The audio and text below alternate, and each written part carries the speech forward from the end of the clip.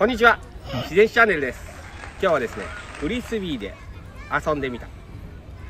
フリスビーをこの前100円ショップで買ったもんで公園でフリスビーの練習をしたいと思います。みんなフリスビーやってる？僕はニュージーランド時代にはですねよくフリスビー公園で遊んでたんですけど日本に帰ってきてからはですねめっきりめっきりやらなくなりました。なので久しぶりにフリスビーをやってみたいと思います。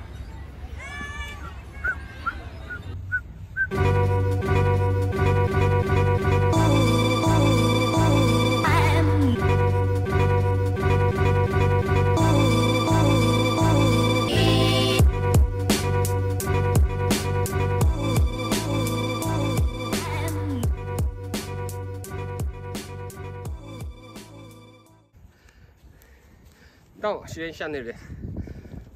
フリスビーはいい健康に、健康運動になりますね。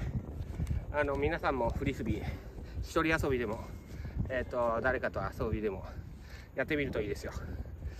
じゃあね。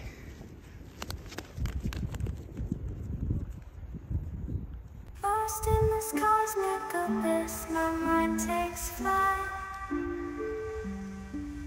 The echoes pulsating, setting the stage for the night.